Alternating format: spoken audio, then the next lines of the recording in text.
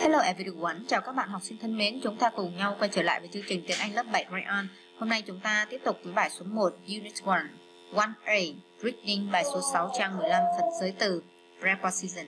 Trong bài này chúng ta sẽ uh, làm có hai câu thôi. Bây giờ các bạn chú ý này, chúng ta sẽ có những cái cụm từ như thế này. Chúng ta có này, at the moment. At the moment là ngay lúc này. Ngay lúc này ngay bây giờ. Rồi i will i will with somebody about something. Tranh cãi với ai về điều gì đó? Tranh cãi với ai về điều gì đó? Tức là nếu mà chúng ta không có ai á không có cái somebody ở đây á thì chúng ta sẽ xài là i will about something. À, tranh cãi về cái gì đấy? Tranh cãi Ờ, về điều gì đó. À, và chúng ta có cái từ good at.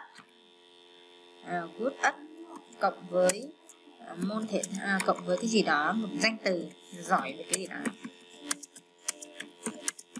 Giỏi về cái gì đó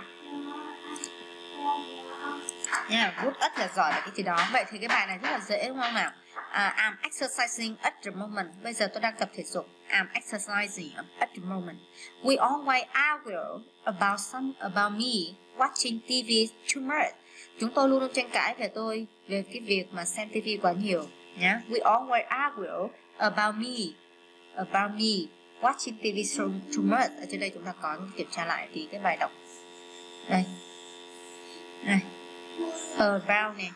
We argue about me playing computer game too often. À, ờ, vậy thì chỗ này chúng ta khoanh vào about và câu cuối cùng chúng ta khoanh vào ất giỏi về cái gì đó lĩnh vực gì đó là am good at sport. Tôi rất giỏi về thể thao. Ok bài số 6 trang 15 của chúng ta đến đây là hết và hẹn gặp lại các bạn trong cái bài speaking with Brian see you later.